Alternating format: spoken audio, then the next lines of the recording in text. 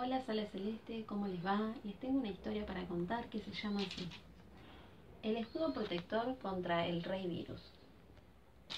Había una vez un rey llamado coronavirus. Este rey preparó sus valijas para viajar por todo nuestro planeta.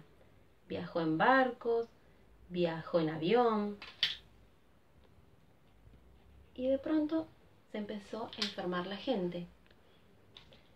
Por suerte estaban los médicos, los enfermeros, para ayudar a todas estas personas que se estaban enfermando por el coronavirus. Pero hubo una idea brillante para salvar a nuestro planeta. Empezaron a cerrar las escuelas, los jardines, los negocios, y la gente empezó a quedarse en su casa junto a sus familias. Porque este rey quería atacar a muchas personas y la única manera de combatirlo es contra el escudo.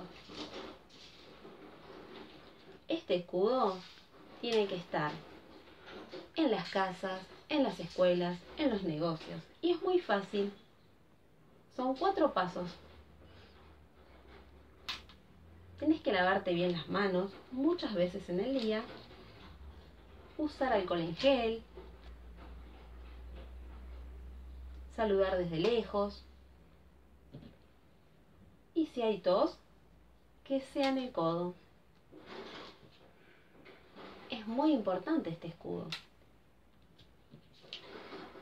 1, 2, 3, 4. Escudo activado.